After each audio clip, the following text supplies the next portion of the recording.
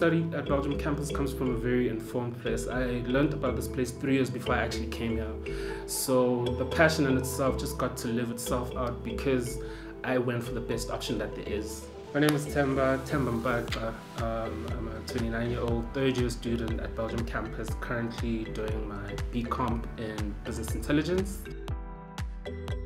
the few things I've learned in first and second year are quite, they're the smaller, they're not the hard skills, they're the softer skills that I think in the workplace will set me apart because in the workplace you get that you don't struggle with deadlines because you've had the culture of deadline every Friday, there's a test, every Friday there's a test. On top of that, there's submissions of assignments. So the thrill of it all kind of makes me look forward to the workplace besides my hard skills like being able to code, being able to do SQL database, we'll see. We'll see in the workplace how I'm able to put everything to the test, but I feel prepared. I do.